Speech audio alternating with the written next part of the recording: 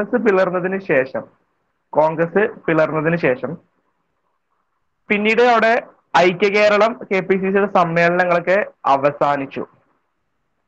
പിന്നീടും വീണ്ടും ഐക്യ കേരള പ്രസ്ഥാനം അപ്പോഴും രൂപീകരിച്ചിട്ടില്ല.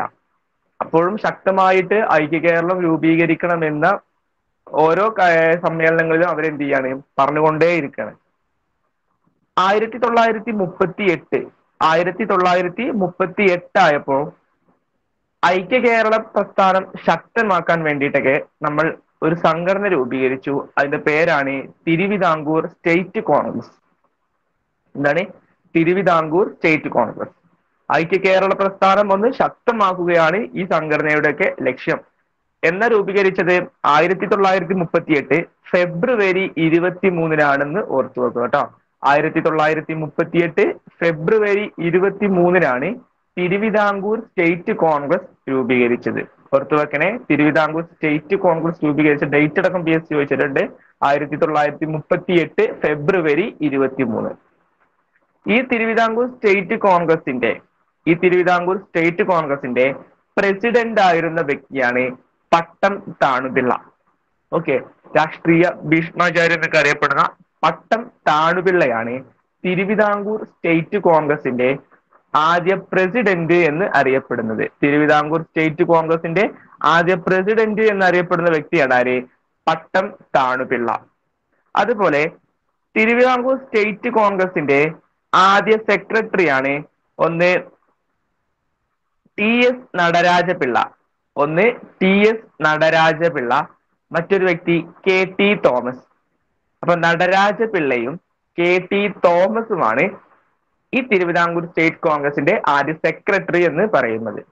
അപ്പൊ ആയിരത്തി തൊള്ളായിരത്തി മുപ്പത്തി എട്ടിലാണ് തിരുവിതാംകൂർ സ്റ്റേറ്റ് കോൺഗ്രസ് രൂപീകരിക്കുന്നത്. ആയിരത്തി തൊള്ളായിരത്തി മുപ്പത്തി എട്ട് ഫെബ്രുവരി ഇരുപത്തി മൂന്ന് കറക്റ്റ് ആയിട്ട് പറയുമ്പോൾ ആയിരത്തി തൊള്ളായിരത്തി മുപ്പത്തി എട്ട് ഫെബ്രുവരി ഇരുപത്തി മൂന്ന് ഈ തിരുവിതാംകൂർ സ്റ്റേറ്റ് കോൺഗ്രസിന്റെ പ്രസിഡന്റ് ആയിരുന്ന വ്യക്തിയാണ് പട്ടം താണുപിള്ള. സെക്രട്ടറി ആയിരുന്നത് നടരാജപിള്ളയും കെ ടി തോമസും. നടരാജപിള്ളയും കെ ടി തോമസും. ഈ തിരുവിതാംകൂർ സ്റ്റേറ്റ് കോൺഗ്രസിന്റെ പട്ടം താണപിള്ളന്റെ ഒരു വിശേഷണം പറഞ്ഞില്ലേ ഇപ്പോ?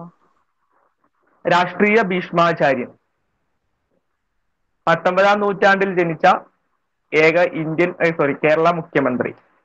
തിരുവിതാംകൂറിലും കൊച്ചിയിലും തിരുക്കൊച്ചിയിലും കേരളത്തിലൊക്കെ എല്ലാ അധികാരങ്ങളും മുഖ്യമന്ത്രിക്കായ പ്രധാനമന്ത്രിക്കായ വ്യക്തിയാണ് ആര്? നമ്മുടെ പട്ടം താണപിള്ള. ഓക്കെ. അപ്പൊ തിരുവിതാംകൂർ സ്റ്റേറ്റ് കോൺഗ്രസിന്റെ ആദ്യ പ്രസിഡന്റ് ആയിരുന്ന വ്യക്തി പട്ടം താണുപിള്ളയാണ്. സെക്രട്ടറി നടരാജ പിള്ള ഒപ്പം കെ ടി തോമസും.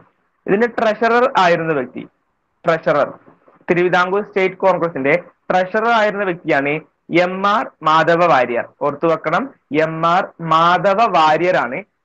തിരുവിതാംകൂർ സ്റ്റേറ്റ് കോൺഗ്രസിന്റെ സെക്രട്ടറി ആയിരുന്ന വ്യക്തിയാണ് M R Madhava Warrier. Okay അപ്പൊ ഇത്രയും കാര്യങ്ങളൊക്കെ പി എസ് സി ചോദിച്ചാണ്. പ്രസിഡന്റിനെ ചോദിച്ചിട്ടുണ്ട്.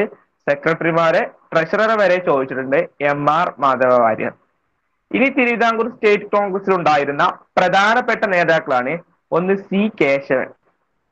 ഒന്ന് സി കേശവൻ. കേട്ടിട്ടുണ്ടോ? ഈ സി കേശവനെ കുറിച്ച് എവിടെയെങ്കിലും?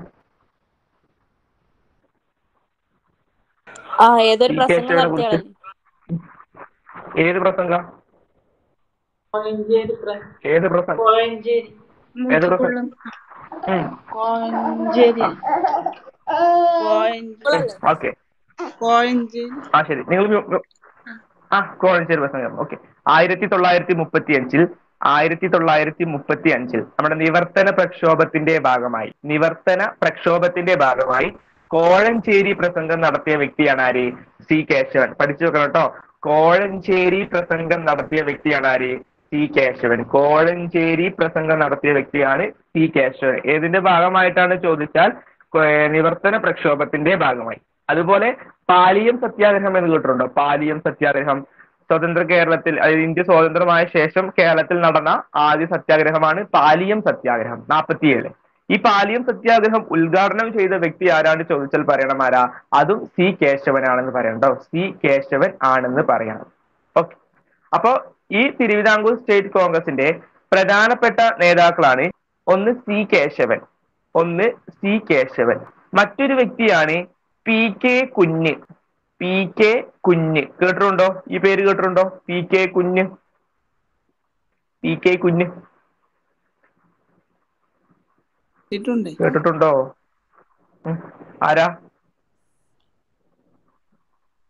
ആരാ പി കെ കുഞ്ഞ്? കേരളത്തിലെ ലോട്ടറി ആരംഭിച്ച മന്ത്രിയാണ് ആര്? ലോട്ടറി. ലോട്ടറി ആരംഭിക്കുന്ന സമയത്തെ മന്ത്രിയാണ് ആര്? ധനകാര്യമന്ത്രിയാണ് ആര്? പി കെ കുഞ്ഞ് കേട്ടോ ഓർത്തു വെക്കണം. ലോട്ടറി ആരംഭിക്കുന്ന സമയത്ത് ധനകാര്യമന്ത്രിയാണ് ആര്? P K Kunju. P K Kunju. ഓർത്തു വെക്കുക. P K Kunju. Then T M Varghese കേട്ടോ T M Varghese. T M Varghese. അപ്പൊ ആരൊക്കെയായിരുന്നു? C Kesavan P K Kunju T M Varghese തുടങ്ങിയവർ. തിരുവിതാംകൂർ സ്റ്റേറ്റ് കോൺഗ്രസിന്റെ പ്രധാനപ്പെട്ട നേതാക്കളായിരുന്നു. ആയിരത്തി തൊള്ളായിരത്തി മുപ്പത്തി എട്ട് ഫെബ്രുവരി ഇരുപത്തിമൂന്നിനാണ് തിരുവിതാംകൂർ സ്റ്റേറ്റ് കോൺഗ്രസ് രൂപീകരിച്ചത്. അതിന്റെ പ്രസിഡന്റ് ആയിരുന്ന വ്യക്തിയാണ് പട്ടം താണുപിള്ള. അതിന്റെ സെക്രട്ടറി ആയിരുന്ന വ്യക്തികളാണ് നടരാജ പിള്ളയും കെ ടി തോമസും. നടരാജ പിള്ളയും കെ ടി തോമസും. അതിന്റെ സെക്രട്ടറി ആയിരുന്ന വ്യക്തി സെക്രട്ടറി സോറി ട്രഷറർ ആയിരുന്ന വ്യക്തിയാണ് M R Madhava Warrier. M R Madhava Warrier. പ്രധാനപ്പെട്ട നേതാക്കളാണ് C Kesavan P K Kunju T M Varghese. C Kesavan P K Kunju T M Varghese. അപ്പൊ അതാണ് തിരുവിതാംകൂർ സ്റ്റേറ്റ് കോൺഗ്രസിനെ കുറിച്ച് പറയാനുള്ളത്. അത് കഴിഞ്ഞ് ഞാൻ നിങ്ങളടുത്ത് പറഞ്ഞിട്ടുണ്ട് ആയിരത്തി തൊള്ളായിരത്തി മുപ്പത്തി ഒൻപത് ആയപ്പോഴത്തിൽ എന്ത് ചെയ്തു? കമ്മ്യൂണിസ്റ്റ് പാർട്ടി രൂപീകരിച്ചു എന്ന് ഞാൻ പറഞ്ഞിട്ടുണ്ട്. അന്ന് ഞാൻ പറഞ്ഞില്ല അത്? ജസ്റ്റ് പറഞ്ഞു. ആ അത്രേ ഉള്ളൂ അവിടെ. ആ കമ്മ്യൂണിസ്റ്റ് പാർട്ടി എന്ത് ചെയ്തു? രൂപീകരിച്ചു. നമ്മുടെ A K G Krishnapillai E M S ചേർന്നിട്ട് എന്ത് ചെയ്തു? പ്രധാനപ്പെട്ട നേതാക്കളെല്ലാം ചേർന്ന് മുപ്പത്തി ഒൻപതിൽ കമ്മ്യൂണിസ്റ്റ് പാർട്ടി രൂപീകരിച്ചു. ഓക്കെ ഇനി ശ്രദ്ധിച്ചേ ആയിരത്തി തൊള്ളായിരത്തി നാൽപ്പത്തി ഒന്ന് ആയിരത്തി തൊള്ളായിരത്തി നാൽപ്പത്തി ഒന്ന് ആയപ്പോ തിരുവിതാംകൂർ സ്റ്റേറ്റ് കോൺഗ്രസിന്റെ പോലെ തന്നെ ഐക്യ കേരള പ്രസ്ഥാനം രൂപീകരിക്കണം എന്ന ലക്ഷ്യത്തോടു കൂടി സ്ഥാപിച്ച മറ്റൊരു സംഘടനയുണ്ട് കൊച്ചി പ്രജാമണ്ഡലം. എന്താണ്? കൊച്ചി പ്രജാമണ്ഡലം. രൂപീകരിച്ച ഡേറ്റ് അടക്കം പഠിച്ചു വെക്കുക. ആയിരത്തി തൊള്ളായിരത്തി നാൽപ്പത്തി ഒന്ന് ജനുവരി ഇരുപത്തിയാറ് കേട്ടോ ആയിരത്തി തൊള്ളായിരത്തി നാൽപ്പത്തി ഒന്ന് ജനുവരി ഇരുപത്തിയാറിനാണ് കൊച്ചി പ്രജാമണ്ഡലം രൂപീകരിച്ചത്. കൊച്ചി പ്രജാമണ്ഡലം രൂപീകരിച്ചത് എന്നാണ് ചോദിച്ചാൽ പറയണം. ആയിരത്തി തൊള്ളായിരത്തി നാൽപ്പത്തി ഒന്ന് ജനുവരി ഇരുപത്തിയാറ്. ഈ കൊച്ചി പ്രജാമണ്ഡലത്തിന് നേതൃത്വം നൽകിയ വ്യക്തി നേതൃത്വം നൽകിയ വ്യക്തി ആരാണ് ചോദിച്ചാൽ വി ആർ കൃഷ്ണൻ എഴുത്തച്ഛൻ ആരാണ്? വി ആർ കൃഷ്ണൻ എഴുത്തച്ഛൻ കൊച്ചി പ്രജാമണ്ഡലത്തിന് നേതൃത്വം നൽകിയ വ്യക്തി ആരാണ് ചോദിച്ചാൽ പറയണം. V R Krishnan Ezhuthachan V R Krishnan Ezhuthachan അല്ലെങ്കിൽ കൊച്ചി പ്രജാമണ്ഡലത്തിന്റെ സെക്രട്ടറി ആരാണ് ചോദിച്ചാൽ നമുക്ക് പറയാം എന്താ? അതും വി ആർ കൃഷ്ണൻ എഴുത്തച്ഛനാണ് അപ്പൊ കൊച്ചി പ്രജാമണ്ഡലത്തിന് നേതൃത്വം നൽകിയ വ്യക്തിയും കൊച്ചി പ്രജാമണ്ഡലത്തിന്റെ സെക്രട്ടറി ആരാണ് ചോദിച്ചാൽ നമ്മൾ പറയണം ആരാ? അത് വി ആർ കൃഷ്ണൻ എഴുത്തച്ഛനാണെന്ന് പറയാം. ഈ കൊച്ചി പ്രജാമണ്ഡലത്തിന്റെ പ്രസിഡന്റ് ആയിരുന്ന വ്യക്തി കൊച്ചി പ്രജാമണ്ഡലത്തിന്റെ പ്രസിഡന്റ് ആയിരുന്ന വ്യക്തിയാണ് S Neelakanta Iyer. S Neelakanta Iyer. S Neelakanta Iyer. അപ്പൊ രണ്ടും ഒന്ന് കണക്ട് ചെയ്ത് പഠിച്ചു വെക്കണം ആയിരത്തി തൊള്ളായിരത്തി മുപ്പത്തി എട്ട് ഫെബ്രുവരി ഇരുപത്തി മൂന്നിന് എന്ത് സ്ഥാപിക്കുന്നു? എന്ത് സ്ഥാപിക്കുന്നു? തിരുവിതാംകൂർ സ്റ്റേറ്റ് കോൺഗ്രസ് സ്ഥാപിച്ചു. ആ സ്ഥാപിച്ചു.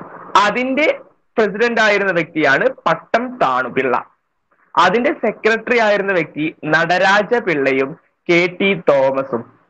അതിന്റെ ട്രഷറർ ആയിരുന്ന വ്യക്തി എം ആർ മാധവ വാര്യർ അതിന്റെ പ്രധാന നേതാക്കളായിരുന്നു C Kesavan P K Kunju T M Varghese. അതിനുശേഷം സ്ഥാപിച്ച മറ്റൊരു സംഘടനയാണ് കൊച്ചി പ്രജാമണ്ഡലം. അത് രൂപീകരിച്ചത് ആയിരത്തി തൊള്ളായിരത്തി നാൽപ്പത്തി ഒന്ന് ജനുവരി ഇരുപത്തിയാറിനാണ്. അതിന് നേതൃത്വം കൊടുത്ത വ്യക്തിയാണ് വി ആർ കൃഷ്ണൻ എഴുത്തച്ഛൻ ഈ കൊച്ചി പ്രജാമണ്ഡലത്തിന്റെ സെക്രട്ടറി ആരാണ് ചോദിച്ചാൽ പറയണം വി ആർ കൃഷ്ണൻ എഴുത്തച്ഛൻ ഈ കൊച്ചി പ്രജാമണ്ഡലത്തിന്റെ പ്രസിഡന്റ് ആരാണ് ചോദിച്ചാൽ S. Neelakanta Iyer. S. Neelakanta Iyer. Okay S Neelakanta Iyer ഇനി ഇതിന്റെ പ്രധാന നേതാക്കൾ ഈ കൊച്ചി പ്രജാമണ്ഡലത്തിന്റെ പ്രധാന നേതാക്കളാണ് ഒന്ന് പനമ്പള്ളി ഗോവിന്ദ മേനോൻ ആരാണ്? ഒന്ന് പനമ്പള്ളി ഗോവിന്ദ മേനോൻ കേട്ടിട്ടുണ്ടോ? ഈ പേര്? പനമ്പള്ളി ഗോവിന്ദ മേനോൻ കൊറേ കേട്ടു കുറെ കേട്ടിട്ടുണ്ട്. ഓക്കെ ഇയാൾ തിരുവിതാംകൂറിലേക്ക് മുഖ്യമന്ത്രി പ്രധാനമന്ത്രിയൊക്കെ ആയ വ്യക്തിയാണ് ആര്? പനമ്പള്ളി ഗോവിന്ദ മേനോൻ ഓക്കെ പനമ്പള്ളി ഗോവിന്ദമേനോൻ ഒപ്പം പഠിച്ചു വെക്കുക. Ikkanda Warrier. Panampilly Govindamenon. Ikkanda Warrier. Ikkanda Warrier. Then K Ayyappan. K Ayyappan. മൂന്ന് പേര് കേട്ടോ പനമ്പള്ളി ഗോവിന്ദമേനോൻ. ഇക്കണ്ട വാര്യർ. പിന്നെ ആരാ? കെ അയ്യപ്പൻ. പനമ്പള്ളി ഗോവിന്ദമേനോൻ. ഇക്കണ്ട വാര്യർ. കെ അയ്യപ്പൻ. തുടങ്ങിയവർ ഏതിന്റെ പ്രധാനപ്പെട്ട നേതാക്കളാ? കൊച്ചി പ്രജാമണ്ഡലത്തിന്റെ പ്രധാനപ്പെട്ട നേതാക്കളാണ് ആര്? പനമ്പള്ളി ഗോവിന്ദമേനോൻ ഇക്കണ്ട വാര്യർ കെ. അയ്യപ്പൻ. ഓക്കെ. ഇനി നോക്കിയേ ഈ കൊച്ചി പ്രജാമണ്ഡലത്തിന്റെ ആദ്യ സമ്മേളനം നടന്നത് രൂപീകരിച്ചത് നാൽപ്പത്തി ഒന്നിലാണെങ്കിലും ആദ്യ സമ്മേളനം ആയിരത്തി തൊള്ള വാർഷിക സമ്മേളനം തൊട്ടടുത്ത വർഷം ആയിരത്തി തൊള്ളായിരത്തി നാൽപ്പത്തി രണ്ടിലാണ് നടന്നത്. കൊച്ചി പ്രജാമണ്ഡലത്തിന്റെ വാർഷിക സമ്മേളനം നടന്നത് ആയിരത്തി തൊള്ളായിരത്തി നാൽപ്പത്തി രണ്ടിലാണ് നടന്നത്. എവിടെയാണ് നടന്നത്? അത് ഇരിങ്ങാലക്കുടയിലാണ് നടന്നത്. തൃശൂർ ജില്ലയിലെ ഇരിങ്ങാലക്കുടയിലാണ് നടന്നത്. കൊച്ചി പ്രജാമണ്ഡലത്തിന്റെ വാർഷിക സമ്മേളനം നടന്നത്. പി എസ് ചോദിച്ചതാണ് എവിടെയായിരുന്നു? ഇരിങ്ങാലക്കുടയിൽ വെച്ചാണ് നടന്നത്. ഓക്കെ. ഇരിങ്ങാലക്കുട. ഇരിങ്ങാലക്കുടക്ക് ചുറ്റും ആരുടെ കൃതിയാ ഇങ്ങാലക്കുട മറ്റേ ഉണ്ണായി വാര്യരുടെ ആ, ഉ- ഉണ്ണായി വാര്യ സ്മാരകം ഓക്കെ. ഇരിങ്ങാലക്കുടക്ക് ചുറ്റും. ആരുടെ കൃതിയാ? അറിയോ. അറിയോ? ഇല്ല. ഇരിങ്ങ ഇരിങ്ങാലക്കുടക്ക് ചുറ്റും എന്ന കൃതി എഴുതിയിട്ടുള്ളത് ഇന്നസെന്റ് ആണ് കേട്ടോ ഇന്നസെന്റ്. കേട്ടോ ക്യാൻസർ വാർഡിലെ ചിരി ഇരിങ്ങാലക്കുടക്ക് ചുറ്റും. രണ്ടും ഇന്നസെന്റിന്റെ കൃതികളാട്ടോ ഓർത്ത് വെക്കുക അപ്പൊ കൊച്ചി പ്രജാമണ്ഡലം നാൽപ്പത്തിയൊന്ന് ജനുവരി ഇരുപത്തിയാറിന് രൂപീകരിച്ചു. അതിന്റെ നേതൃത്വം നൽകിയ സെക്രട്ടറി ആയിരുന്ന വ്യക്തിയാണ് വി ആർ കൃഷ്ണൻ എഴുത്തച്ഛൻ. അതിന്റെ പ്രസിഡന്റ് ആയിരുന്നത് എസ് നീലകണ്ഠ അയ്യർ. അതിന്റെ പ്രധാന നേതാക്കളാണ് ഇക്കണ്ട വാര്യർ പനമ്പള്ളി ഗോവിന്ദ മേനോൻ പിന്നെ ആരാ കെ അയ്യപ്പൻ. ഇതിന്റെ ആദ്യ സമ്മേളനം നടന്നത് ആയിരത്തി തൊള്ളായിരത്തി നാൽപ്പത്തി രണ്ടിലാണ് ഇരിങ്ങാലക്കുടയിൽ വെച്ചാണ് നടന്നത്. ഇനി ഈ കൊച്ചി പ്രജാമണ്ഡലത്തിന്റെ ഭാഗമായിട്ട് ഏറ്റവും കൂടുതൽ ആക്രമണത്തിന് ഇരയായ വ്യക്തി കൊച്ചി പ്രജാമണ്ഡലത്തിന്റെ ഭാഗമായിട്ട് ഏറ്റവും കൂടുതൽ ആക്രമണത്തിന് ഇരയായ വ്യക്തിയാണ് കരുണാകരൻ എന്ന് ഓർത്തു കേട്ടോ നമ്മുടെ കെ കരുണാകരനാണ് ഏറ്റവും കൂടുതൽ ആക്രമണത്തിന് ഇരയായത്. കേട്ടോ അതൊരു ഒറ്റ ഒരു പി എസ് സി പരീക്ഷ ചോദിച്ചൊരു ചോദ്യം കേട്ടോ. ഏറ്റവും കൂടുതൽ കൊച്ചി പ്രജാമണ്ഡലവുമായി ബന്ധപ്പെട്ട് ഏറ്റവും കൂടുതൽ ആക്രമണത്തിന് ഇരയായ വ്യക്തിയാണ് ആര്? കെ കരുണാകരൻ എന്നോർത്തു വെക്കുക. ഏറ്റവും ഇമ്പോർട്ടന്റ് ആണ് കൊച്ചി പ്രജാമണ്ഡലം നിരോധിക്കാൻ നിരോധിക്കാൻ ഉത്തരവിറക്കിയ വ്യക്തി ആര്? കൊച്ചി പ്രജാമണ്ഡലം നിരോധിക്കാൻ ഉത്തരവിറക്കിയ വ്യക്തിയാണ് ആരാ? എ എഫ് ഡബ്ല്യു ഡിക്സൺ ആരാണ്? A F W Dixon A F W Dixon okay A F W Dixon ആണ് ഈ കൊച്ചി പ്രജാമണ്ഡലം രൂപീകരിക്കാൻ സോറി നിരോധിക്കാൻ ഉത്തരവിറക്കിയത്. രൂപീകരിച്ചത് എന്നാണ് നാൽപ്പത്തിയൊന്ന് ജനുവരി ഇരുപത്തിയാറ്. അതിന് നിരോധിക്കാൻ വേണ്ടി ഉത്തരവിറക്കിയത് ആരാ? A F W Dixon. Okay ആണോ? ത്രീ പോയിന്റ് ഓക്കെ ആണോ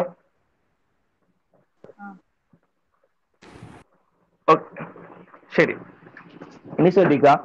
അപ്പൊ നമ്മൾ ഓരോ വർഷങ്ങളായിട്ട് അങ്ങനെ പറഞ്ഞ് പറഞ്ഞ് പറഞ്ഞ് പോകുന്നുണ്ടോ ഇനി ആയിരത്തി തൊള്ളായിരത്തി നാൽപ്പത്തി അഞ്ചിൽ നമ്മൾ സ്വാതന്ത്ര്യത്തിലേക്ക് കടക്കാൻ പോവാണ്. കേട്ടോ ശ്രദ്ധിക്കണം.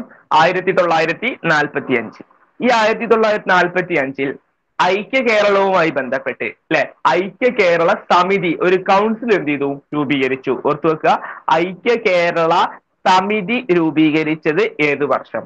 ആയിരത്തി തൊള്ളായിരത്തി നാൽപ്പത്തി അഞ്ച് ഐക്യ കേരള സമിതി രൂപീകരിച്ച വർഷമാണ് ആയിരത്തി തൊള്ളായിരത്തി നാൽപ്പത്തി അഞ്ച് ഐക്യ കേരള സമിതി രൂപീകരിച്ചു. പി എസ് സി ചോദിച്ചിട്ടുണ്ട് ആയിരത്തി തൊള്ളായിരത്തി നാൽപ്പത്തി അഞ്ചിൽ രൂപീകരിച്ച ഐക്യ കേരള സമിതിയുടെ അധ്യക്ഷൻ ആരായിരുന്നു? അധ്യക്ഷൻ ആയിരുന്ന വ്യക്തിയാണ് കെ കേളപ്പൻ. കേട്ടോ ഐക്യ കേരള സമിതിയുടെ അധ്യക്ഷനായിരുന്ന വ്യക്തിയാണ് കെ കേളപ്പൻ. ഓക്കെ അപ്പൊ ഐക്യ കേരള സമിതിയുടെ അധ്യക്ഷനായിരുന്ന വ്യക്തിയാണ് ആര്? കെ കേളപ്പൻ. ഇനി തൊട്ടടുത്ത വർഷം ആയിരത്തി തൊള്ളായിരത്തി നാൽപ്പത്തി ആറ് ഈ ഐക്യ കേരള സമിതിയെ സഹായിക്കാൻ വേണ്ടി ഐക്യ കേരള ഉപസമിതി രൂപീകരിച്ചു. ഉപസമിതി രൂപീകരിച്ചു. പറയാൻ പറ്റുമോ? അത് എവിടെ വെച്ച രൂപീകരിച്ചത് ഒരു പി വൈ കൂടിയാണ്. പറയാൻ പറ്റുമോ? ഇല്ല. ഇല്ല. ആയിരത്തി തൊള്ളായിരത്തി നാൽപ്പത്തി അഞ്ചിൽ ആരംഭിച്ച ഐക്യ കേരള സമിതിയുടെ ഒരു ഉപസമിതി ആയിരത്തി തൊള്ളായിരത്തി നാൽപ്പത്തി ആറിൽ രൂപീകരിച്ചു. ആ രൂപീകരിച്ചത് ചെറുതുരുത്തിയിലാണെന്ന് ഓർത്തു നോക്കുക. ചെറുതുരുത്തി കേട്ടിട്ടുണ്ടോ? ആ നമ്മുടെ കേരള കലാമണ്ഡലം സ്ഥിതി ചെയ്യുന്ന ചെറുതിരുത്തിയിൽ വെച്ചാണ് ഐക്യ കേരള ഉപസമിതിയുടെ സമ്മേളനം നടന്നത് അപ്പൊ ഈ ചെറുതിരുത്തി കേട്ടാൽ രണ്ട് പോയിന്റ് ഓർത്തു വെക്കണം. കേരള കലാമണ്ഡലം സ്ഥിതി ചെയ്യുന്നു. ഐക്യ കേരള ഉപസമിതിയുടെ സമ്മേളനം നടന്നത് എവിടെയാണ്? ചെറുതിരുത്തിയിലാണെന്ന് ഓർത്തു വെക്കുക. ഈ ഐക്യ കേരള ഉപസമിതിയുടെ ഐക്യ കേരള ഉപസമിതിയുടെ അധ്യക്ഷനായിരുന്ന വ്യക്തിയാണ് കേരളത്തിന്റെ വന്ധ്യവയോധികൻ എന്നറിയപ്പെടുന്ന വ്യക്തിയാ. ആരാ? മന്നത്ത് പത്മനാഭൻ മന്നത്ത് പത്മനാഭൻ കെ കേളപ്പന് അല്ല കേരളത്തിലെ വന്ധ്യവയോധികൻ എന്നറിയപ്പെടുന്നത് കെ പി കേശവ മേനോൻ ആരാണ്? കെ പി കേശവ മേനോൻ ഈ ഐക്യ കേരള ഉപസമിതിക്ക് നേതൃത്വം നൽകിയ വ്യക്തിയാണ് K P Kesava Menon K P Kesava Menon Kerala Madan Mohan മാളവിയാണ് ആര്? മന്നത്ത് പത്മനാഭൻ. കേട്ടോ കേരള മദൻ മോഹൻ മാളവിയാണ് മന്നത്ത് പത്മനാഭൻ. കേരള ഗാന്ധിയാണ് ആര്? കെ കേളപ്പൻ. ഓക്കെ. അപ്പൊ ഐക്യ കേരള സമിതിയെ സഹായിക്കാൻ ഐക്യ കേരള ഉപസമിതി രൂപീകരിച്ച വർഷം ആയിരത്തി തൊള്ളായിരത്തി നാൽപ്പത്തി ആറിൽ എവിടെ രൂപീകരിച്ചു? ചെറുതിരുത്തിയിൽ രൂപീകരിച്ചു. ആരും നേതൃത്വം നൽകി? ആര് നേതൃത്വം നൽകി? കെ പി കേശവ മേനോൻ നേതൃത്വം നൽകി. കെ പി കേശവ മേനോൻ നേതൃത്വം നൽകി. ഓക്കെ. ഇനി നമ്മുടെ സി പി രാമസ്വാമി അയ്യർ അല്ലെ? എവിടെയോ സമ്മേളനത്തിൽ അധ്യക്ഷനായിട്ടുണ്ട്. എവിടെ സമ്മേളനത്തിലാ? മലബാർ ജില്ലാ കോൺഗ്രസിന്റെ എത്രാം സമ്മേളനത്തിലാ? ബുക്ക് നോക്കരുത് ബുക്ക് നോക്കരുത്. ഫോർത്ത് ഫോർത്തിൽ നാലിലോ? നാലിൽ കെ പി രാമൻ മേനോനാ.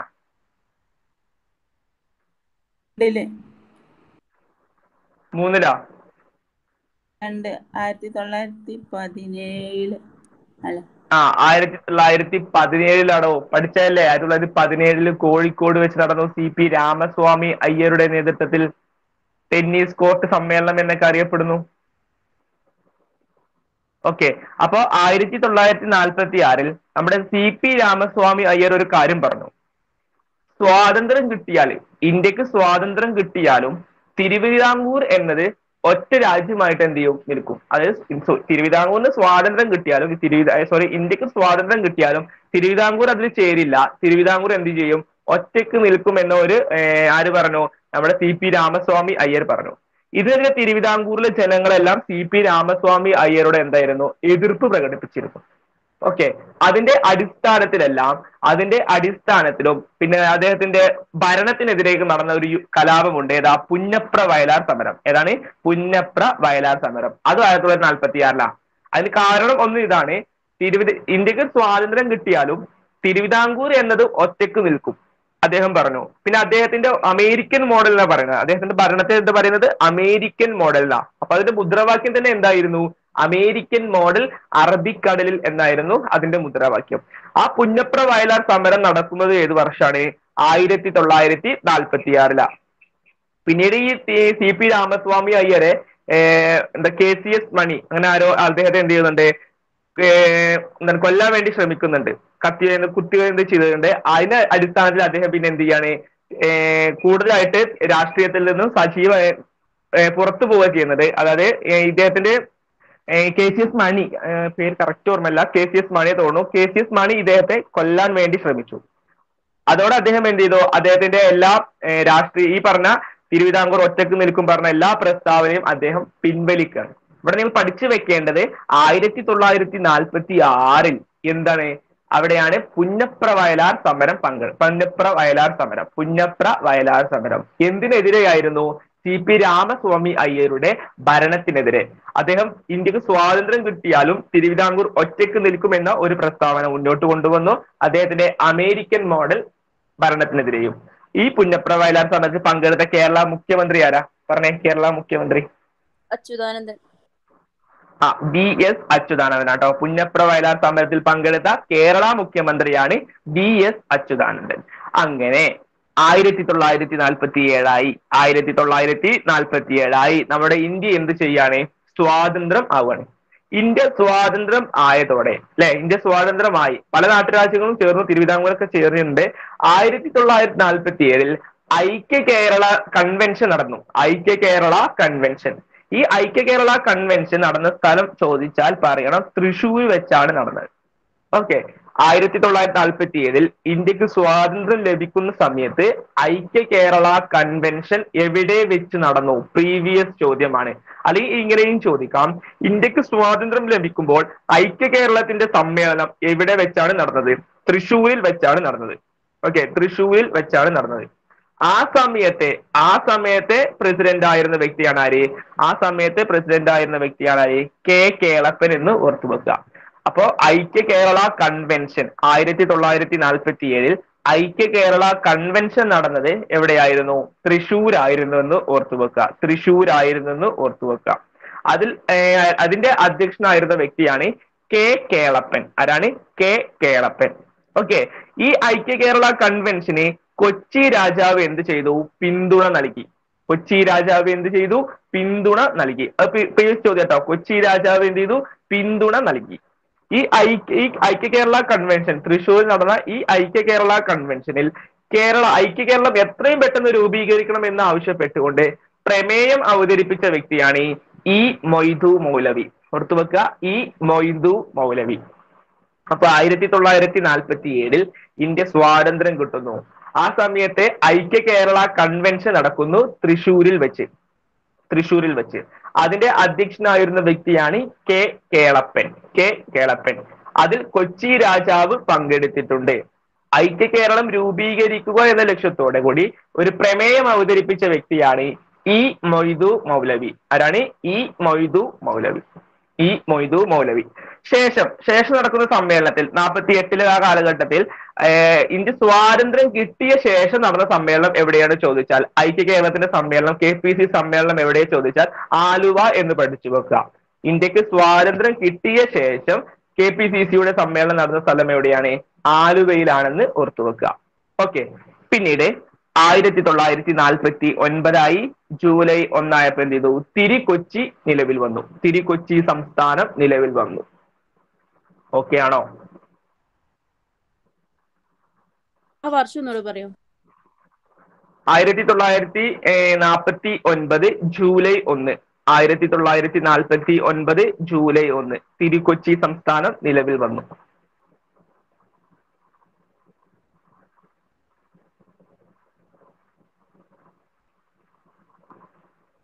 ഓക്കെ ആണോ? ഓക്കെ അപ്പൊ ഇത്രയാണ് നമുക്ക് എന്ന ലക്ഷ്യത്തോടെ പ്രമേയം അവതരിപ്പിച്ചത് മൊയ്തു ഈ ഈ മൊയ്തു മൗലവി ഈ മൊയ്തു മൗലവി. ഈ മൊയ്തു മൗലവി. അപ്പൊ നമുക്ക് ഇത്രയാണ് ഐക്യ കേരളം എന്ന ഭാഗമായിട്ട് പറയാനുള്ളത്. പിന്നെ നിങ്ങൾ പഠിച്ച കാര്യങ്ങളാണ് കേരള സംസ്ഥാനം രൂപീകരണം അല്ലെ? നമുക്ക് ഓൾറെഡി അറിയുന്ന കാര്യങ്ങളാണ്. അഞ്ച് ജില്ലകൾ ഉണ്ടായിരുന്നു അങ്ങനെ കേരളത്തിന്റെ ആ ഒരു ഇൻട്രൊഡക്ഷൻ കേട്ടോ ആദ്യത്തെ തെരഞ്ഞെടുപ്പിന് അങ്ങനെ പോവുക ചെയ്യാം. അപ്പൊ ഇത്രയും നമുക്ക് ഐ ടി കേരളത്തിന്റെ ഭാഗമായിട്ട് പഠിക്കാനുള്ളത്. മലബാർ ജില്ലാ കോൺഗ്രസിനെ ആദ്യം ഒരു സെക്ഷനായി നിർത്തുക. പിന്നീട് കെ പി സി സി എന്താണെന്ന് പറയാ. കെ പി സി സി ശേഷം കോൺഗ്രസ് പിളരുന്നു. പിന്നീട് ഒരു തിരുവിതാംകൂർ സ്റ്റേറ്റ് കോൺഗ്രസ്. പിന്നീട് കൊച്ചി പ്രജാമണ്ഡലം. പിന്നീട് എന്താ പിന്നെ ഐക്യ കേരള സമിതി രൂപീകരിക്കുന്നു. അതിനുവേണ്ടി ഒരു ഉപസമിതി രൂപീകരിച്ചു. പിന്നീട് പുന്നപ്ര വയലാർ സമരം നടക്കുന്നു. പിന്നീട് എന്താ ആയിരത്തി തൊള്ളായിരത്തി ഐക്യ കേരള കൺവെൻഷൻ നടക്കുന്നു തൃശ്ശൂരിൽ.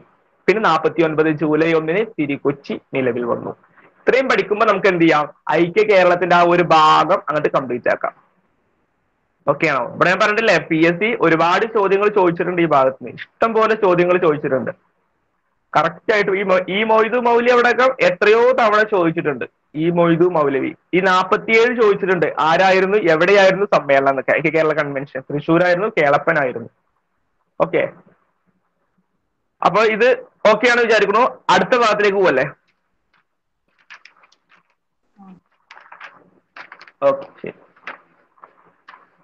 അപ്പോ നമ്മുടെ ടോപ്പിക്ക് വരുന്ന ഐക്യ കേരളം കംപ്ലീറ്റ് ആക്കി. ഇനി നമുക്ക് തണ്ണീർത്തട സംരക്ഷണ നിയമം. അത് നമ്മൾ നോക്കിയതാണോ? തണ്ണീർത്തട സംരക്ഷണ നിയമം?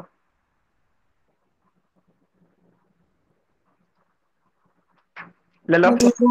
നോക്കിയിട്ടില്ല. ഓക്കെ അപ്പൊ നമ്മൾ ഇനി അത് നോക്കാൻ പോകുന്നത്. നമ്മുടെ ടോപ്പിക്കിൽ പറയുന്ന തണ്ണീർത്തട സംരക്ഷണ നിയമം. വെറ്റിലാണ് കേട്ടോ ശ്രദ്ധിക്കുക. എന്താണ് തണ്ണീർത്തടം എന്ന് പറഞ്ഞാൽ എന്താ? എന്താണ് തണ്ണീർത്തടം എന്ന് പറഞ്ഞാൽ? എന്താണ് തണ്ണീർത്തടം? പറയൂ. ഈ പുഴകളോടൊക്കെ ചേർന്നിട്ടൊക്കെ ഓക്കെ. ഭൂമിയുടെ ഭൂമിയുടെ ഉപരിതലത്തിൽ ഭൂമിയുടെ ഉപരിതലത്തിൽ ജലം സംഭരിച്ചു വെക്കുന്ന സ്വാഭാവിക ഇടങ്ങളെയാണ് നമ്മൾ എന്ത് പറയുന്നത്? തണ്ണീർ തടങ്ങൾ എന്ന് പറയുന്നത്. എസ് സി ആർ ടിയിൽ പറയുന്ന പോയിന്റ് കേട്ടോ ഭൂമിയുടെ ഉപരിതലത്തിൽ ജലം സംഭരിച്ചു വെക്കുന്ന സ്വാഭാവിക ഇടങ്ങളെയാണ് നമ്മൾ എന്ത് പറയാ? തണ്ണീർ തടങ്ങൾ എന്ന് പറയാം. അപ്പൊ പി എസ് ചോദിക്കും ഭൂമിയുടെ ഉപരിതലത്തിൽ ജലം സംഭരിച്ചു വെക്കുന്ന സ്വാഭാവിക ഇടങ്ങൾ എന്തറിയപ്പെടുന്നു? തണ്ണീർത്തടങ്ങൾ ഉണ്ടാവും തടാകങ്ങൾ എന്നുണ്ടാവും കായലുകൾ ഇതൊക്കെ ഉണ്ടാവും കേട്ടോ. അപ്പൊ ഓർത്ത് നോക്കുക എന്താണ്? തണ്ണീർത്തടങ്ങൾ എന്ന് അറിയപ്പെടുന്നു. ഭൂമിയുടെ ഉപരിതലത്തിൽ ജലം സംഭരിച്ചു വെക്കുന്ന സ്വാഭാവിക ഇടങ്ങളാണ് എന്ത്? തണ്ണീർത്തടം എല്ലാ ജലസ്രോതസ്സുകളും എന്തല്ല? തണ്ണീർത്തടങ്ങളല്ല ഓർത്തു വെക്കണം. എല്ലാ ജലസ്രോതസ്സുകളും തണ്ണീർത്തടങ്ങൾ അല്ല. തണ്ണീർത്തടം എന്ന് പറഞ്ഞാൽ വർഷത്തിൽ ആറു മാസമെങ്കിലും ജലം തങ്ങി നിൽക്കണം. വർഷത്തിൽ ആറു മാസമെങ്കിലും ജലം തങ്ങി നിൽക്കുന്നതോ ആറു മീറ്റർ എങ്കിലും താഴ്ചയുള്ളതോ ആയ ജലസ്രോതസ്സുകളെയാണ് നമ്മൾ എന്ത് പറയാം? തണ്ണീർത്തടങ്ങൾ എന്ന് പറയാം. ഭൂമിയിൽ കാണുന്ന എല്ലാ ജലസ്രോതസ്സുകളും തണ്ണീർത്തടങ്ങളല്ല വർഷത്തിൽ ആറു മാസമെങ്കിലും ജലം തങ്ങി നിൽക്കണം ആറു മീറ്റർ എങ്കിലും താഴ്ചയുണ്ടാവണം. അപ്പൊ അതിനെയാണ് നമ്മൾ എന്ത് പറയാ? തണ്ണീർ തടങ്ങൾ എന്ന് പറയാം. അപ്പൊ ഭൂമിയുടെ ഉപരിതലത്തിൽ ജലം സംഭരിച്ചു വെക്കുന്ന സ്വാഭാവിക ഇടങ്ങളാണ് തണ്ണീർത്തടങ്ങൾ വർഷത്തിൽ ആറു മാസമെങ്കിലും ജലം തങ്ങി നിൽക്കണം ആറു മീറ്റർ എങ്കിലും താഴ്ചയുണ്ടാവണം. ഈ തണ്ണീർത്തടങ്ങൾ പ്രകൃതി നിർമ്മിതമോ മനുഷ്യ നിർമ്മിതമോ ആവാം. കേട്ടോ പ്രകൃതി നിർമ്മിതമാവണമെന്ന് ഒരു നിർബന്ധവുമില്ല. പ്രകൃതി നിർമ്മിതമാവാം അല്ലെങ്കിൽ മനുഷ്യ നിർമ്മിതമാവാം. പക്ഷെ ഈ കണ്ടീഷൻ അവിടെ ഉണ്ടാവണം. വർഷത്തിൽ ആറു മാസമെങ്കിലും ജലം തങ്ങി നിൽക്കണം. ആറ് മീറ്റർ എങ്കിലും താഴ്ച ഉണ്ടാവണം ഓക്കെ പ്രകൃതി നിർമ്മിതമാവാം മനുഷ്യ നിർമ്മിതമാവാം. ഭൂമിയുടെ വൃക്ക ഭൂമിയുടെ വൃക്ക എന്നറിയപ്പെടുന്നതാണ് എന്ത് തണ്ണീർത്തടം. എന്താണ് വൃക്കയുടെ പ്രവർത്തനം എന്താ? നമ്മുടെ മനുഷ്യ ശരീര വൃക്കയുടെ പ്രവർത്തനം എന്താ? ആ മാലിന്യങ്ങളെ അരിച്ച് അരിച്ച് ശുദ്ധി ആ മാലിന്യങ്ങളെ അരിച്ച് ശുദ്ധീകരിക്കാം അതുപോലെ നമ്മുടെ ഭൂമിയിൽ വരുന്ന മാലിന്യങ്ങളെ അരിച്ച് ശുദ്ധീകരിക്കുന്നതാണ് ആര്? തണ്ണീർത്തടങ്ങൾ. അതുകൊണ്ടാണ് നമ്മൾ എന്ത് വിളിച്ചത്? തണ്ണീർത്തടങ്ങളെ ഭൂമിയുടെ വൃക്ക എന്ന് അറിയപ്പെടുന്നതാണ് ഏത്? തണ്ണീർത്തടങ്ങൾ. അതുപോലെ പ്രകൃതിയുടെ അണക്കെട്ട് അല്ലെങ്കിൽ പ്രകൃതിദത്ത അണക്കെട്ടുകൾ. എന്താണ്? പ്രകൃതി ദത്ത അണക്കെട്ടുകൾ എന്നും അറിയപ്പെടുന്ന എന്താ? തണ്ണീർത്തടങ്ങളാണ്. ഭൂമിയുടെ വൃക്ക എന്ന് അറിയപ്പെടുന്നു. പ്രകൃതിദത്ത അണക്കെട്ടുകൾ എന്ന് അറിയപ്പെടുന്നു. തണ്ണീർത്തടം എന്ന് പറഞ്ഞാൽ ഭൂമിയുടെ ഉപരിതലത്തിൽ ജലം സംഭരിച്ചു വെക്കുന്ന സ്വാഭാവിക ഇടങ്ങളെയാണ് നമ്മൾ തണ്ണീർത്തടം എന്ന് പറയുന്നത്. ഈ തണ്ണീർത്തടങ്ങൾ വർഷത്തിൽ ആറു മാസമെങ്കിലും ജലം തങ്ങി നിൽക്കണം. ആറു മീറ്റർ എങ്കിലും താഴ്ചയുണ്ടാവണം. എല്ലാ ജലസ്രോതസ്സുകളും എന്തല്ല? തണ്ണീർത്തടങ്ങളല്ല തണ്ണീർത്തടങ്ങൾ പ്രകൃതി നിർമ്മിതമോ മനുഷ്യ നിർമ്മിതമോ ആവാം. ഭൂമിയുടെ വൃക്ക എന്ന് അറിയപ്പെടുന്നു. പ്രകൃതിദത്ത അണക്കെട്ട് എന്ന് അറിയപ്പെടുന്നു. മനുഷ്യരാശിയുടെ വികാസത്തിന്റെ കളിത്തൊട്ടിൽ എന്നറിയപ്പെടുന്നു. എന്താണ്? മനുഷ്യരാശിയുടെ വികാസത്തിന്റെ കളിത്തൊട്ടിൽ എന്നറിയപ്പെടുന്നു. മനുഷ്യരാശിയുടെ വികാസത്തിന്റെ കളിത്തൊട്ടിൽ എന്നും അറിയപ്പെടുന്നു.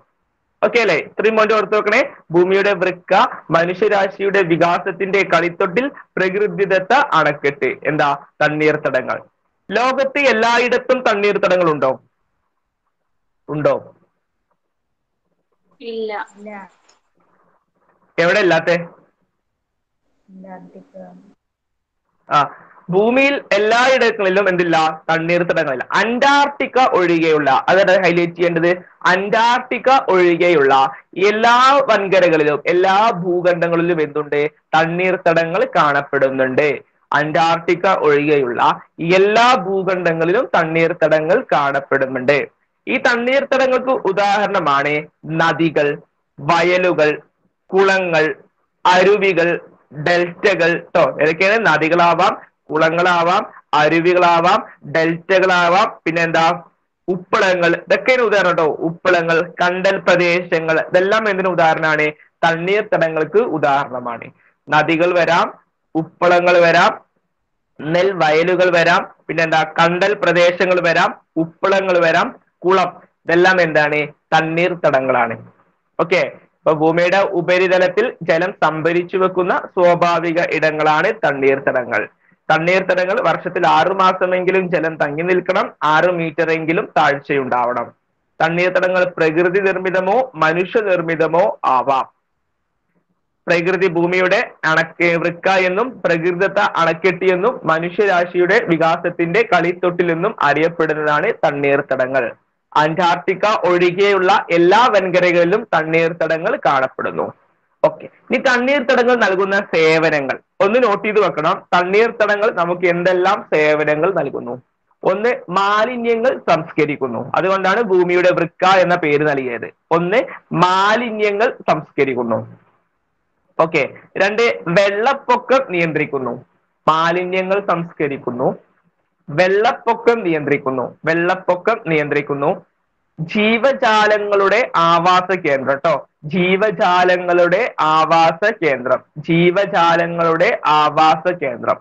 ഒരു തണ്ണീർത്തടം എന്ന് പറയുമ്പോൾ അവിടെ എന്തുണ്ടായിരിക്കണം? ഈ പറഞ്ഞ പോലെ ജലം ഉണ്ടാവുകയും ചുറ്റും ഒരു ആവാസ വ്യവസ്ഥ ജീവികൾക്ക് വേണ്ട ഒരു ആവാസ വ്യവസ്ഥ ക്രിയേറ്റ് ചെയ്യുകയും വേണം. അതുകൊണ്ട് ജീവജാലങ്ങളുടെ ആവാസ കേന്ദ്രം എന്നറിയപ്പെടുന്നതും തണ്ണീർത്തടമാണ്. മാലിന്യ സംസ്കരണം വെള്ളപ്പൊക്ക നിയന്ത്രണം ജീവജാലങ്ങളുടെ ആവാസ കേന്ദ്രം. കര തീര സംരക്ഷണം. കര തീര സംരക്ഷണം. ഓർത്തു വെക്കുക കര തീര സംരക്ഷണം. കര തീര സംരക്ഷണം സാംസ്കാരിക മൂല്യം കാത്തു സൂക്ഷിക്കുന്നു. നമ്മളുടെ സാംസ്കാരിക മൂല്യം കാത്തു സൂക്ഷിക്കുന്നു. ഇത്രയും പോയിന്റ് ഓർത്തു വെക്കണം. മാലിന്യം സംസ്കരിക്കുന്നു വെള്ളപ്പൊക്കം നിയന്ത്രിക്കുന്നു ജീവജാലങ്ങളുടെ ആവാസ കേന്ദ്രം പിന്നെ എന്താ? കര തീര സംരക്ഷണം സാംസ്കാരിക മൂല്യം കാത്തു സൂക്ഷിക്കുന്നു. ഇത്രയുമാണ് തണ്ണീർത്തടങ്ങൾ നമുക്ക് നൽകുന്ന സേവനങ്ങൾ. ഇത്രയും പോയിന്റ് ഓക്കെ ആണോ?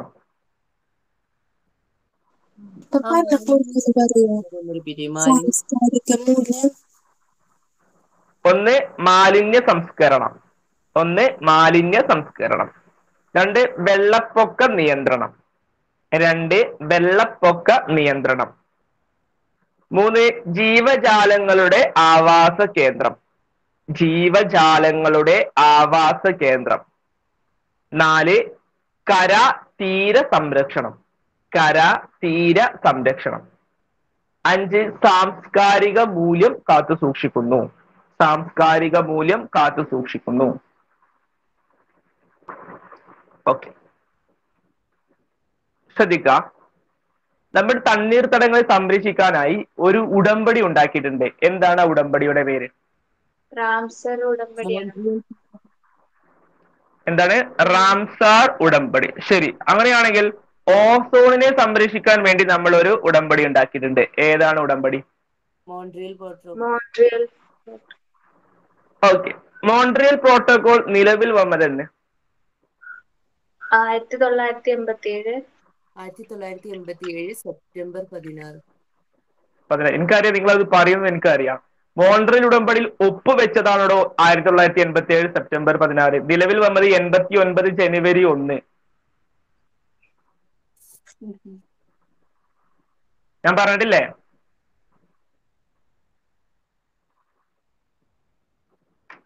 ഓക്കെ ശരി. അപ്പൊ റാംസാർ തണ്ണീർത്തടങ്ങളെ തണ്ണീർത്തടങ്ങളെ സംരക്ഷിക്കാൻ വേണ്ടി നിലവിൽ വന്ന ഉടമ്പടിയാണ് റാംസാർ ഉടമ്പടി. റാംസാർ ഉടമ്പടി. ഈ റാംസാർ എന്നത് ഒരു പ്രദേശമാണ്. അത് ആദ്യം ഓർത്തു വെക്കുക. റാംസാർ എന്നത് ഒരു പ്രദേശമാണ്. ഏത് രാജ്യത്താണ് റാംസാർ സ്ഥിതി ചെയ്യുന്നത്? ഏത്. രാജ്യത്താ? Iran. Iran. Iran.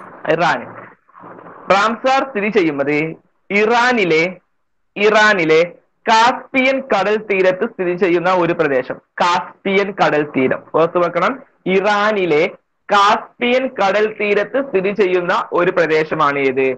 റാംസാർ എന്നത്. ഇറാനിലെ കാസ്പിയൻ കടൽ തീരത്ത് സ്ഥിതി ചെയ്യുന്ന പ്രദേശമാണ് ഏത്? റാംസാർ.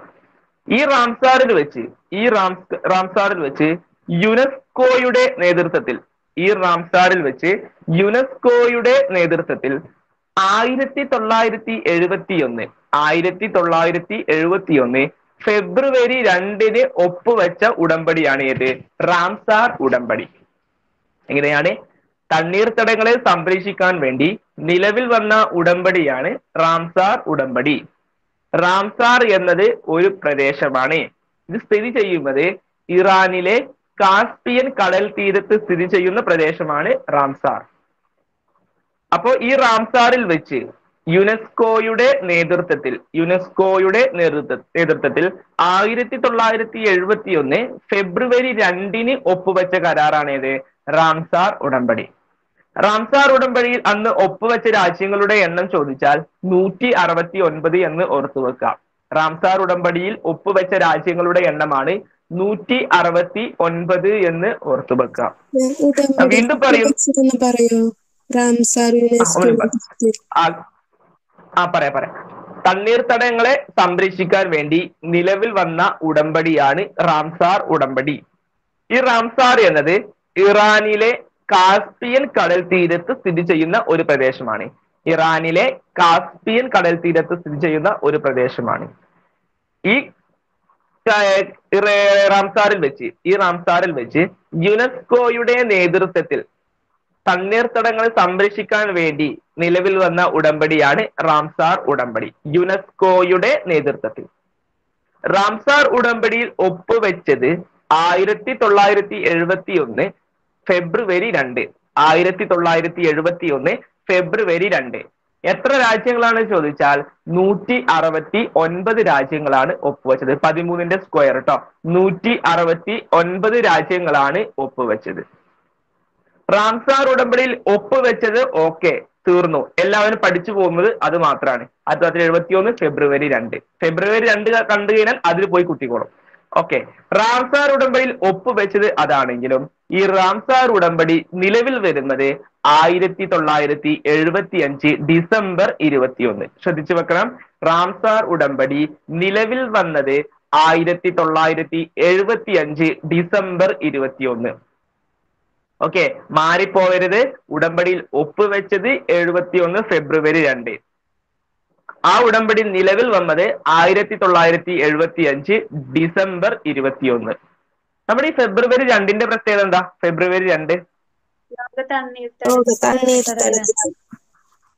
ആ ലോക തണ്ണീർത്തട ദിനം. അങ്ങനെയാണെങ്കിൽ ഫെബ്രുവരി രണ്ട് ലോക തണ്ണീർത്തട ദിനമായി ആചരിച്ചു തുടങ്ങിയത് എന്ന് മുതൽ. രണ്ടായിരത്തി നാലാണോ? അല്ല ആയിരത്തി തൊള്ളായിരത്തി ആയിരത്തി തൊള്ളായിരത്തി തൊണ്ണൂറ്റി ഏഴ് മുതൽ നയന്റീൻ നയന്റി സെവൻ മുതൽ ആയിരത്തി തൊള്ളായിരത്തി തൊണ്ണൂറ്റി ഏഴ് മുതലാണ് ഫെബ്രുവരി രണ്ട് ലോക തണ്ണീർത്തട ദിനമായിട്ട് നമ്മൾ ആചരിച്ചത് കേട്ടോ അപ്പൊ അത്രയും പോയിന്റ് ഓർത്ത് വെക്കുക വീണ്ടും പറയുന്നു റാംസാർ ഉടമ്പടിയിൽ ഒപ്പുവെച്ചത് എഴുപത്തിയൊന്ന് ഫെബ്രുവരി രണ്ട്.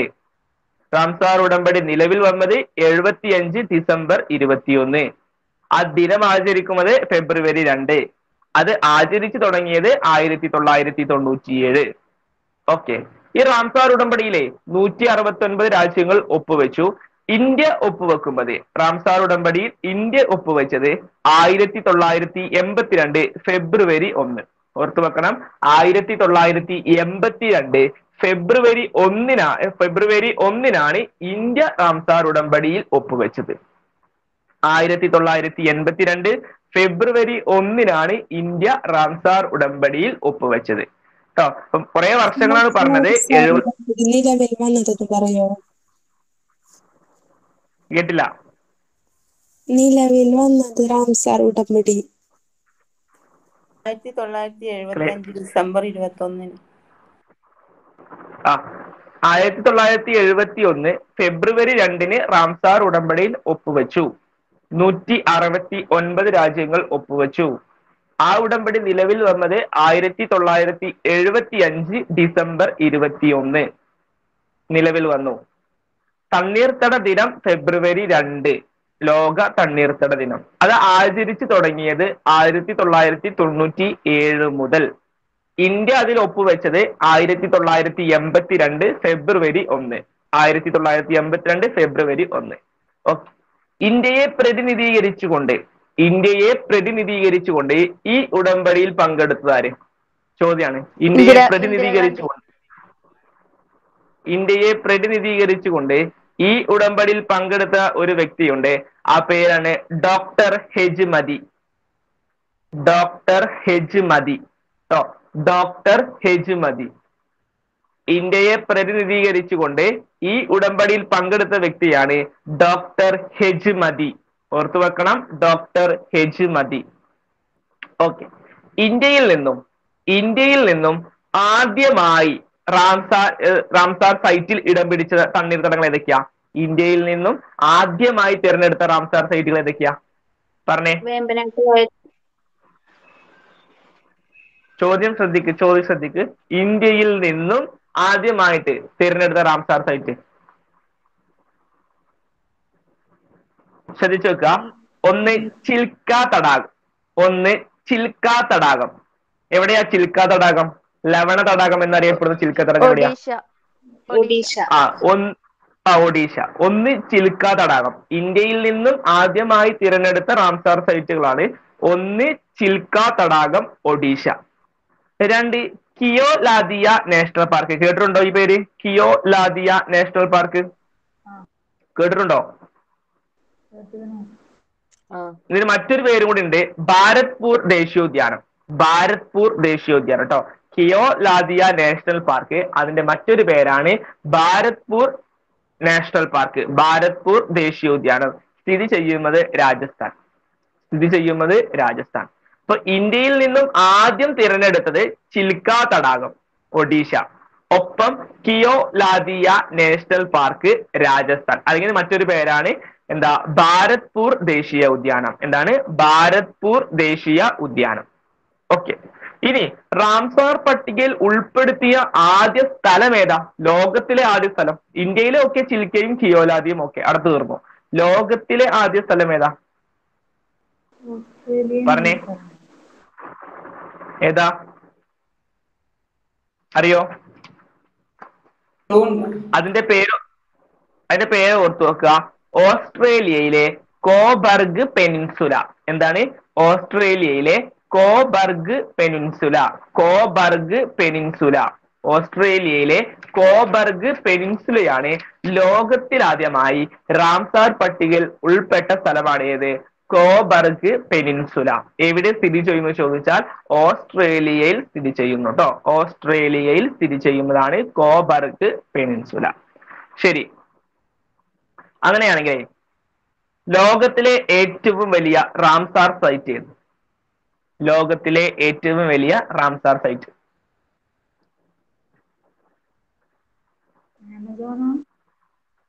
ലോകത്തിലെ ഏറ്റവും വലിയ റാംസാർ സൈറ്റ് ആണ് പാൻഡനാൽ എന്ന് ഓർത്തു വെക്കുക. പാൻഡനാൽ ലോകത്തിലെ ഏറ്റവും വലിയ റാംസാർ സൈറ്റ് ആണ് പാൻഡനാൽ ഓർത്തു വെക്കണേ.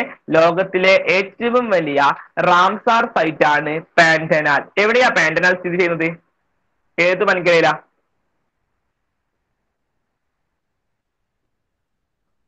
സൗത്ത് അമേരിക്ക കേട്ടോ സൗത്ത് അമേരിക്കൻ രാജ്യങ്ങൾ ഒരു മൂന്ന് രാജ്യങ്ങളിലായിട്ടാണ് പാൻഡനാൽ സ്ഥിതി ചെയ്യുന്നത്. സൗത്ത് അമേരിക്കൻ രാജ്യങ്ങൾ അതായത് ബൊളീവിയ ബ്രസീൽ പിന്നെ ഉ- പെറുഗോയ് കേട്ടോ ബൊളീവിയ ബ്രസീൽ പിന്നെ പരോഗോയോ അങ്ങനെ സ്ഥലത്ത് കൂടി സ്ഥിതി ചെയ്യുന്നത്. ഒന്ന് കൺഫേം ചെയ്യണ്ട മൂന്ന് രാജ്യങ്ങളാണ് ബൊളീവിയ ബ്രസീൽ പരോഗോയ് തോന്നുന്നുണ്ട്. മൂന്ന് രാജ്യങ്ങളിലായിട്ടാണ് ആര് സ്ഥിതി ചെയ്യുന്നത്? പാൻഡനാൽ സ്ഥിതി ചെയ്യുന്നത്. സൗത്ത് അമേരിക്കൻ കൺട്രീസിലാണ് ആര് സ്ഥിതി ചെയ്യുന്നത്? പാൻഡനാൽ സ്ഥിതി ചെയ്യുന്നത്.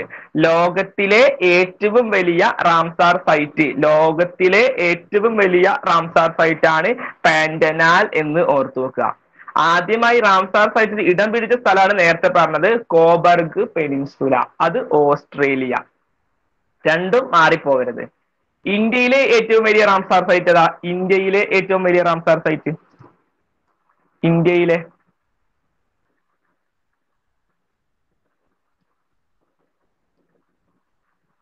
അറിയോ? ഇന്ത്യയിലെ? ഇന്ത്യയിലെ ഏറ്റവും വലിയ റാംസാർ സൈറ്റ് ആണ് സുന്ദർബൻ എന്ന് ഓർത്തു വെക്കുക കേട്ടോ. സുന്ദർബൻ വെസ്റ്റ് ബംഗാളിലെ സുന്ദർബൻ. കേട്ടിട്ടുണ്ടോ സുന്ദർബൻ? ആ സുന്ദർബൻ ഡെൽറ്റ ആ സുന്ദർബൻ ഡെൽറ്റ കേട്ടോ. സുന്ദർബൻ ഡെൽറ്റ വെസ്റ്റ് ബംഗാളിലെ സുന്ദർബൻ ഡെൽറ്റയാണ് ഇന്ത്യയിലെ ഏറ്റവും വലിയ റാംസാർ സൈറ്റ് ലോകത്തിലെ ഏറ്റവും വലിയ റാംസാർ സൈറ്റ് ആണ് ഏതാ? പാൻഡനാൽ എന്ന് ഓർത്തു വെക്കുക ലോകത്തിൽ ആദ്യമായി റാംസാർ സൈറ്റിൽ ഇടം പിടിച്ച സ്ഥലമാണെങ്കിൽ ഓസ്ട്രേലിയയിലെ കോബർഗ് പെനിൻസുല. ഓസ്ട്രേലിയയിലെ കോബർഗ് പെനിൻസുല. ഇന്ത്യയിൽ നിന്നും ആദ്യമായി റാംസാർ സൈറ്റിൽ ഇടം പിടിച്ചതാണെങ്കിലോ? അത് ചിൽക്ക തടാകം Odisha. Keoladeo national park അല്ലെങ്കിൽ ഭാരത്പൂർ ദേശീയ ഉദ്യാനം രാജസ്ഥാൻ എന്നും കൂടി ഓർത്തു വെക്കുക കേട്ടോ ഓക്കെ അങ്ങനെയാണെങ്കിൽ ഇന്ത്യയിലെ ഏറ്റവും ചെറിയ റാംസാർ സൈറ്റ് ഏതാ? ഇന്ത്യയിലെ ഏറ്റവും ചെറിയ റാംസാർ സൈറ്റ് ഇന്ത്യയിലെ ഏറ്റവും ചെറിയ റാംസാർ സൈറ്റ് അത് ഹിമാചൽ പ്രദേശിലെ ഹിമാചൽ പ്രദേശിലെ രേണുക. ട്ടോ ഹിമാചൽ പ്രദേശിലെ രേണുക. ഇന്ത്യയിലെ ഏറ്റവും ചെറിയ റാംസാർ സൈറ്റ് ആണ് ഹിമാചൽ പ്രദേശിലെ രേണുക എന്ന് ഓർത്തു വെക്കുക. ഹിമാചൽ പ്രദേശിലെ രേണുകയാണ് ഇന്ത്യയിലെ ഏറ്റവും ചെറിയ റാംസാർ സൈറ്റ് അപ്പൊ എന്തൊക്കെയാ പറഞ്ഞത്? ലോകത്തിൽ ആദ്യമായി റാംസാർ പട്ടികയിൽ ഇടം പിടിച്ചത് ഏതായിരുന്നു? ഏതായിരുന്നു? അത് കോബർഗ് പെനിൻസുലയാണ്. ലോകത്തിലെ ഏറ്റവും വലിയ റാംസാർ സൈറ്റ് ഏതാണ്? ലോകത്തിലെ ഏറ്റവും വലിയ റാംസാർ സൈറ്റ് പാൻഡനാൽ ആണ് പാൻഡനാൽ. ഇന്ത്യയിൽ ആദ്യമായി റാംസാർ സൈറ്റിൽ ഇടം പിടിച്ച ഏതാ? ചിൽക്ക തടാകം കിയോ ലാദിയ നാഷണൽ പാർക്ക്. ഇന്ത്യയിലെ ഏറ്റവും വലിയ റാംസാർ സൈറ്റ് ഏതാ? അത് സുന്ദർബൻ ആണ് സുന്ദർബൻ. ഇന്ത്യയിലെ ഏറ്റവും ചെറിയ റാംസാർ സൈറ്റ് ഏതാണ്? അതേതാ? അത് രേണുക ഹിമാചൽ പ്രദേശിലെ രേണുക. Ramsar Ramsar. റാംസാർ എന്താണ്? അതൊരു പ്രദേശമാണ്. ഏത് രാജ്യത്ത് സ്ഥിതി ചെയ്യുന്നു? ഇറാനിലെ കാസ്പിയൻ കടൽ തീരത്ത് സ്ഥിതി ചെയ്യുന്നു. കാസ്പിയൻ കടൽ തീരത്ത് സ്ഥിതി ചെയ്യുന്നു. ഈ റാംസാർ ഉടമ്പടിയിൽ ഒപ്പുവെച്ചത് എന്നാണ് ചോദിച്ചാൽ ആയിരത്തി തൊള്ളായിരത്തി എഴുപത്തി ഒന്ന് ഫെബ്രുവരി രണ്ട്.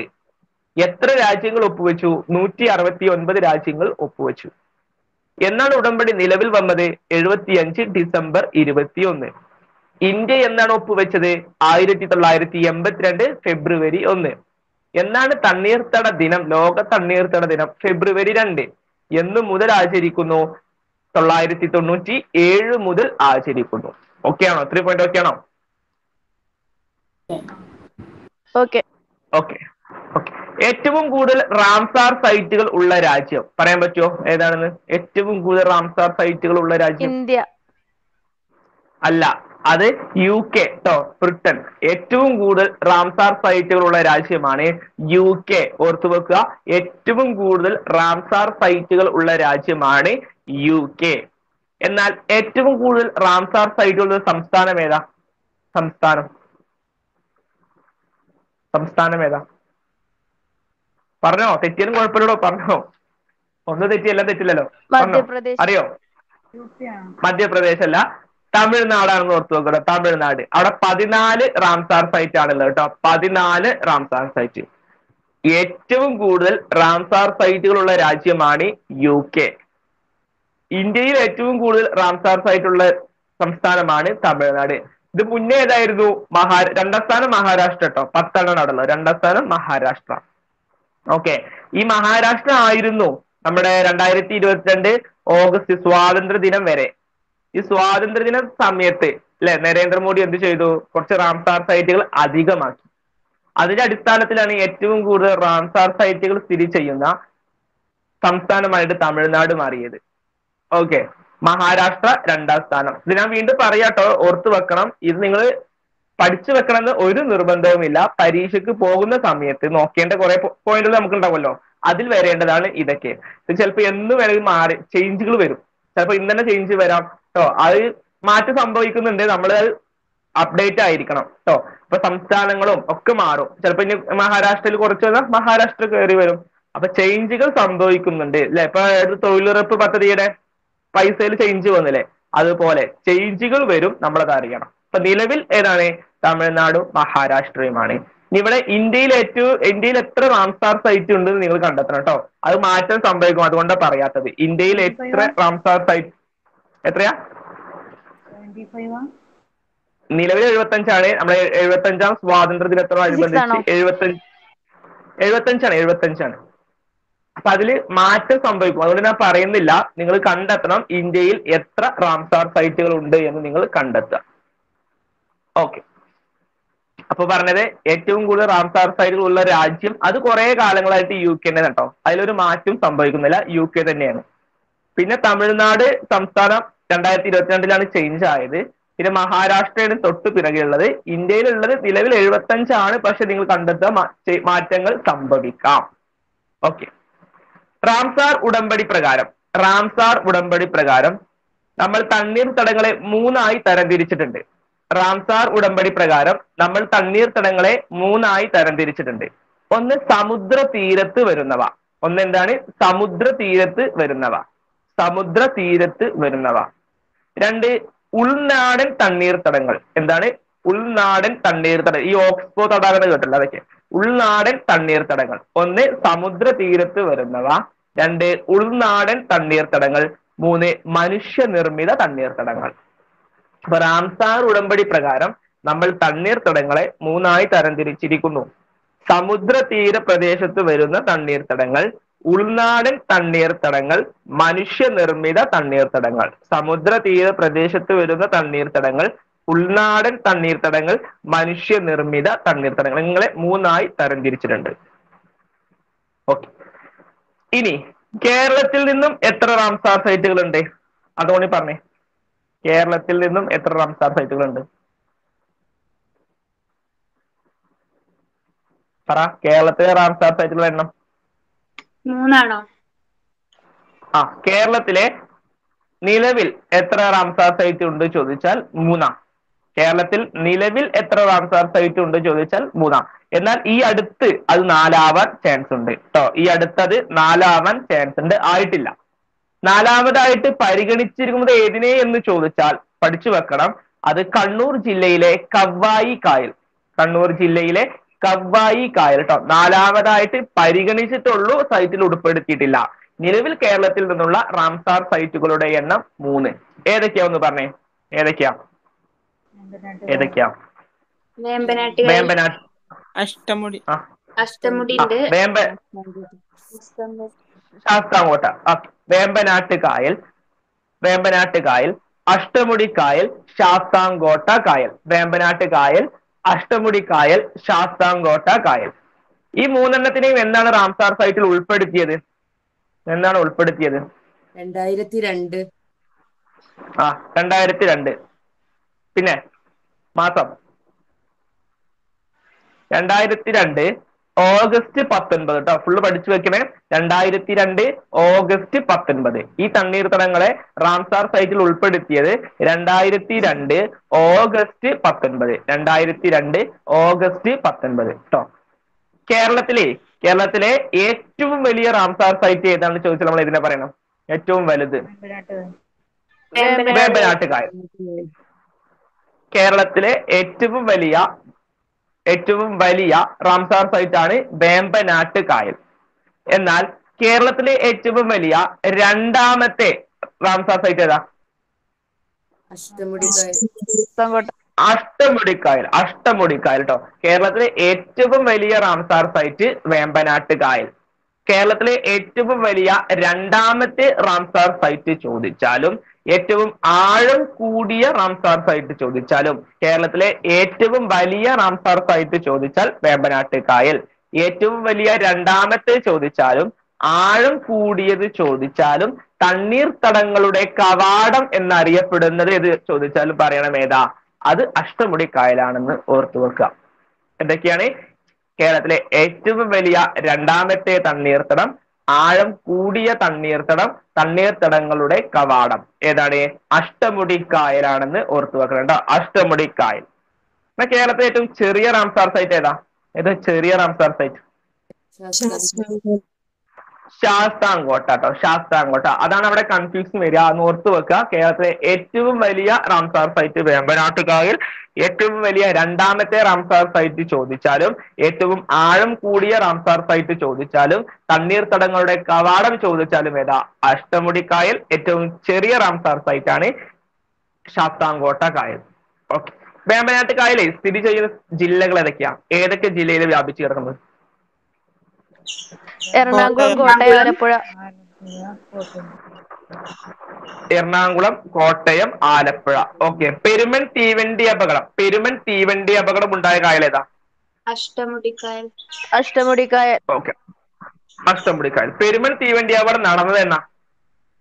ആയിരത്തി തൊള്ളായിരത്തി എൺപത്തി എട്ട് ജൂലൈ എട്ടിന്. ആയിരത്തി തൊള്ളായിരത്തി എൺപത്തി എട്ട് ജൂലൈ എട്ട് കേട്ടോ ആയിരത്തി തൊള്ളായിരത്തി എൺപത്തി എട്ട് ജൂലൈ എട്ട്. പഠിച്ചു വെക്കണം മൊത്തം പഠിച്ചു വെക്കണം കേട്ടോ ആയിരത്തി തൊള്ളായിരത്തി എൺപത്തി എട്ട് ജൂലൈ എട്ടിനാണ് നടന്നത്. ഓക്കെ. അങ്ങനെയാണെങ്കിൽ കേരളത്തിലെ ഏറ്റവും വലിയ ശുദ്ധജല തടാകം ഏതാ? ശാസ്താംകോട്ട. ശാസ്താംകോട്ടയാണ്. Okay okay okay. അങ്ങനെയാണെങ്കിൽ കേരളത്തിൽ ഏറ്റവും ഉയരത്തിൽ സ്ഥിതി ചെയ്യുന്ന ശുദ്ധജല തടാകം ഏതാ? ഉയരത്തിൽ സ്ഥിതി ചെയ്യുന്ന പൂക്കോട്ട് തടാകം പൂക്കോട്ട് തടാകം പൂക്കോട് തടാകമാണ്. ശരി. അങ്ങനെയാണെങ്കിൽ രാജാക്കന്മാരുടെ രോഗം ഏതാ? രാജേനുണ്ടോ നമ്മുടെ ടോപ്പിക്ക് ഇനി പറയാനുണ്ട് ഏതാണ്? ഹീമോഫീലിയ. ആ എന്താണ്? ചോദ്യം തന്നെ? രാജാക്കന്മാരുടെ രോഗം. ആ രാജാക്കന്മാരുടെ രോഗം ഹീമോഫീലിയ അല്ല. അത് രാജകീയ രോഗമാണ് ഹീമോഫീലിയ. ആ രാജാക്കന്മാരുടെ രോഗമാണ് ഗൗട്ട്. യൂറിക് ആസിഡ് അസ്ഥികളിൽ കടിഞ്ഞുകൂടിണ്ടാവുന്ന രോഗമുണ്ട്. ഗൗട്ട് ഓർത്ത് വെക്കുക കേട്ടോ അത് രാജാക്കന്മാരുടെ രോഗമാണ്. ഗൗട്ട് രാജകീയ രോഗമാണ് ഹീമോഫീലിയ. ശരി. അപ്പോ സാർ ഏതാ? രാജാക്കന്മാരുടെ രോഗവും രാജകീയ രോഗവും ഡിസീസ് ഓഫ് കിങ്ങും കിങ് ഡിസീസ് കിങ് ഡിസീസ് എന്തായിരിക്കും കറക്റ്റ് എനിക്കറിയില്ല. നോക്കാം. റോയൽ ഡിസീസ് മറ്റേതാണ്. ഏതാണ്? രാജകീയ രോഗം നോക്കി നോക്കാം. ഇത് ഗൗട്ട് പറഞ്ഞ എങ്ങനെ ഉണ്ടാവുന്നതാ? ഗൗട്ട് അറിയോ? എങ്ങനെ രൂപം കൊള്ളുന്ന അറിയോ? ആ, ആസിഡ് നമ്മുടെ എല്ലുകളിൽ കുടി പേശി- അടിഞ്ഞു ആ അടിഞ്ഞുകൂടി ഉണ്ടാവുന്ന രോഗമാണ് ഗൗട്ട് ഓക്കെ ശരി. പാതാളഗംഗ ഏതാ? പാതാളഗംഗ. സരസ്വതി. അല്ലല്ല മറ്റേ കാവേരി. അല്ല കൃഷ്ണ കൃഷ്ണ കൃഷ്ണ കൃഷ്ണ. ഉറപ്പിച്ചില്ലേ? കൃഷ്ണ. കേട്ടോ പാതാളഗംഗ കൃഷ്ണ. റബ്ബർ ഏറ്റവും ഉൽപ്പാദിക്കുന്ന രാജ്യം ഏതാ? ബ്രസീലാണ്. തായ്ലാൻഡ്. Thailand Thailand. ശരി. ഒക്കെ മറന്നു പോകണം കേട്ടോ മറക്കരുതേ. ശുദ്ധജല. തടാകം പറയോ? ശുദ്ധജല തടാകം. ശാസ്താംകോട്ട. പൂക്കോട്ട്. തടാകം പൂക്കോട്ട്. പൂക്കോട് ഏറ്റവും ഉയരത്തിൽ ഉയരത്തിലുള്ള ഉയരത്തിലുള്ള ഈ ഓക്സ്ബോ പറഞ്ഞ ഒന്ന് പറഞ്ഞു പറഞ്ഞുതരുമോ ഓക്സ്ബോ. ഉയരത്തിലുള്ള ഉയരത്തിലുള്ള തടാകമാണ് പൂക്കോട് കേട്ടോ. അത് മനുഷ്യനിർമ്മിതമായിട്ട് വരുന്നതാണ് ഈ ഓക്സ്ബോ ഒക്കെ.